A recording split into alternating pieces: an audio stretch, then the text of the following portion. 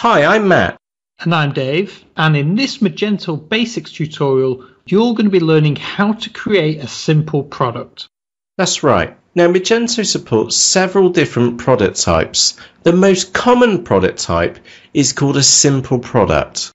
Now, simple products are generally used for products that have no variations available. For example, a tie that is available in just one size, or a computer mouse. In this tutorial, you're going to learn how to create a simple product in Magento and all the basic details about a product in Magento. So with that said, let's jump across to Magento and we'll catch up with you there in a few moments time. So Dave, let's go and create a simple product. And to do that, we need to go to Catalog and then Manage Products. In the top right hand corner, click on the button which says Add Product. Now you'll be given different options here, but you'll want to select Default for the attribute set and the product type, Simple Product, and then click on Continue. From this page, this is where you can create simple products in Magento. So where we have the name, this is where you would type in the name of your product. Now for this example, Dave, I'm going to be using a dining set, which doesn't come in any variations. It's just a set of tables and chairs and there are no options at all. So where we've got the name field, I'm going to paste in the name. Now this is also the name which comes out underneath the product or above the product on our Magento website. Now for the description, you may or may not have the WYSIWYG editor turned on. In our case, we've got it turned off, but let's show you how you can use the WYSIWYG editor. So if you have an orange button called WYSIWYG editor, click onto that button and then at the top, press show hide editor. And you'll see, Dave, we've got a little WYSIWYG or what you see, what you get editor.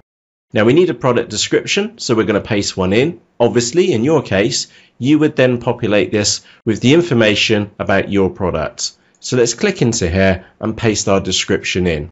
If we wanted to highlight a specific area of our text, so is ideal for family dining or garden parties, for example, we can highlight that text and then press the B button to make it bold. And of course, there's lots of other options here, which we're not going to go into. Once we finish editing these, press the submit button in the bottom right hand corner. You'll notice that Magento does fully support the use of HTML in your descriptions. Now the short description is really meant for a short description of the product. And in our case, we're going to borrow the first paragraph which we've got for our product and paste that into our short description. Let's scroll down the page a touch. We've got SKU. And Dave, what does SKU stand for? SKU stands for Stock Keeping Unit. Excellent. So we need to enter a SKU for this product. So we're not going to be very creative on this one. We're just going to go and call this one Wiltshire. But of course, you would enter a stock number which makes sense to you or your supplier. Next, the weight. Now I know this item is 56 kilograms, so I'm going to type in 56. A little tip here is try and keep the weight values the same for all of your products. So no mixing up kilograms and grams. Keep them always in grams, kilograms, or pounds and ounces, whatever suits your business. Now, Dave, we've got lots and lots of options in here, and I'm going to keep to the basic ones first. Where we've got status, we're going to drop this box down and choose enabled. And what that means is that this product is now enabled to be shown on our Magento website. If it's set as disabled, it will never appear. The next option is visibility. Now, normally you want all your simple products to be set as catalog search. And what catalog means is that your customers will find this product by searching the categories on your Magento website.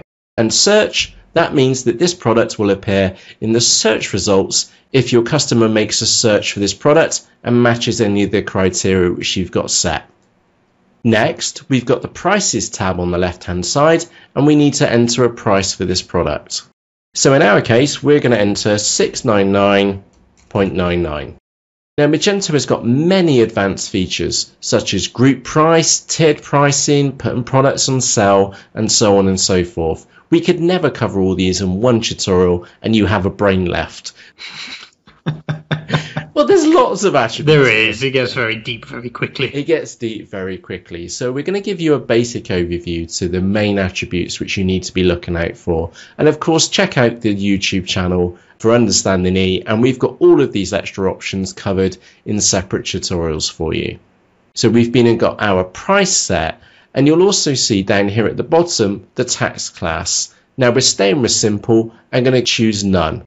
And Dave, the tax class, that's a prime example of an attribute which gets very, very deep, very, very quickly. And we do have setup tutorials how you can set up the tax classes for Magento, not only for the United States, you've also got them for the United Kingdom, Europe, and also Australia too.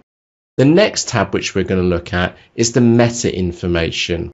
And the two key sections here for you to pay attention to is the meta title. So that's going to be our page title. Now, if we leave that blank, the Magento is going to use our product name back from the general tab. If we go back to the meta information tab, if you leave the meta description area empty, then it will use the description to populate this for you. And meta keywords, they're pretty much dead now, but Magento will also populate these automatically for you. The next tab on the left hand side is product images. And this is the one tab where I always make mistakes. So we are going to be pausing to point out the upload files button in a few moments time. So let's go and add some images to this product. And to do this, we need to click on the button which says Browse Files on the right hand side. Now, quick note, pay attention here because there's a little way where you can forget to press a button and your images don't get uploaded. That's right. If you don't press upload files on the right hand side and you press save, they won't be uploaded. So Dave, we've got a collection of images here. Now a big tip for you, and we've seen this in the Understanding E forums before, is that if you want your images to be uploaded in a specific order, then click on them in a specific order. So I'm holding down the control key and choosing them in a different order. Or you could just press control and A on your keyboard, which would select them all, and then click on open. You'll now see that you've got your images here in a list. Now it's crucial that you press the upload files button on the right hand side. So give Magento a few moments and Dave, we can now see that we've got our product images on the right hand side. Now, we've been and uploaded several images to Magento and we've got these extra columns here. And it's really important that we actually choose one of these images to come out as the base image, the small image, and also the thumbnail as well. And the reason why I say it's important is because if you don't set that, you're just going to have the Magento placeholder image showing on your Magento website. But if we scroll down, we can see a really nice lifestyle image down here at the bottom. Let's go and choose the radio options for those three options there. And what that means is that this image will be used as the base image, the small image, and also the thumbnail image too. Or if you prefer an image like this one to be used, then choose the radio options for that one instead. So that's the product images uploaded, Dave. Let's go and have a look at the inventory tab on the left hand side. Now this is where you can set the quantity available for this product. So let's say that we've got a dozen of these in stock. So I've set them as 12 and crucially remember to change your stock availability from out of stock to in stock. So if you don't have that set, then the product won't appear on your Magento website. Next up, we've got websites. And if you have more than one store view, the websites tab will appear and you'll need to tick your website available here. Or if you've got multiple Magento websites, tick the websites which you would like this product to appear on. The next tab which we've got is categories.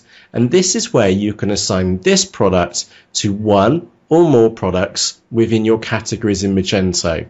So let's go and expand home and decor and we can see that we've got different categories here. Now obviously this isn't the right category for us to choose, but we're going to pop this dining set into home and decor and books and music.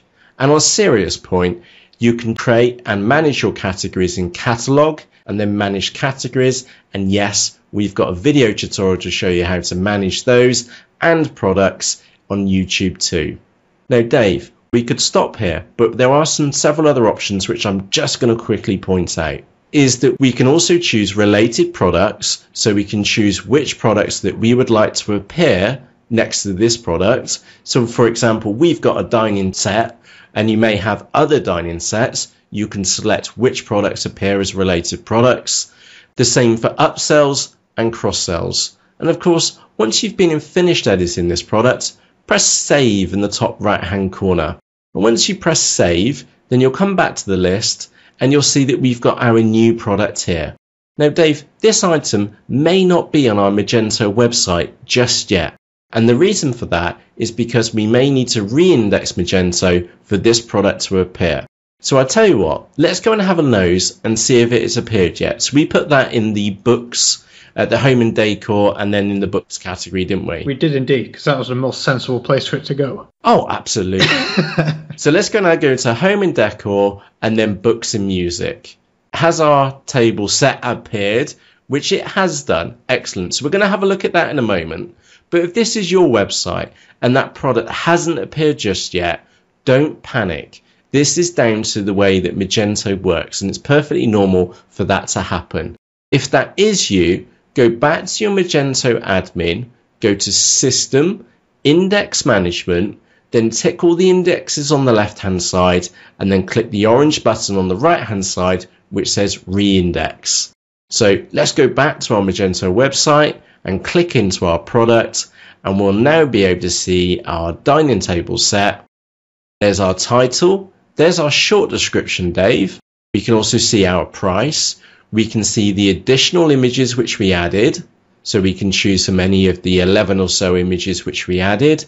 And then if we scroll down, we can also see our product description. And Dave, remember I set that text there to be in bold? It's come out as bold in our description too. Now, a little note here is that while you're adding products one by one to Magento, there are many ways in getting lots and lots of products into Magento very, very easily.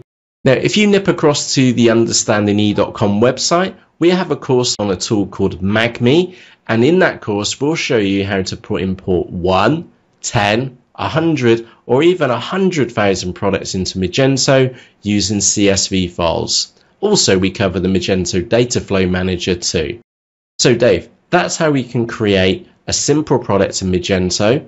Like we said, there are lots and lots of options when it comes to simple products in Magento. There's probably a little bit too much to cover in one tutorial and extra features such as setting products as being new, putting products on sale and related and all the advanced features. We've got separate tutorials on YouTube just for those to help you.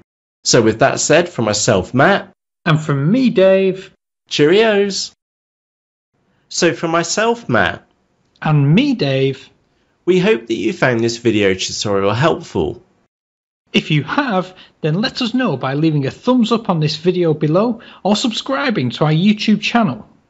We believe to use Magento, you don't need a degree in Nerd and we've created you over 300 step-by-step video tutorials at understandinge.com to help you. In these tutorials, you'll learn how to use Magento with no prior knowledge, how to build a fully responsive Magento website for just $99, which is about 65 quid. How you can use Magento to sell on eBay and Amazon with M2E Pro and you'll be joined by over 6,000 fellow business owners just like you. And the best part is, it's free to join. So, for myself, Matt, and me, Dave, we'll see you there. Cheerios!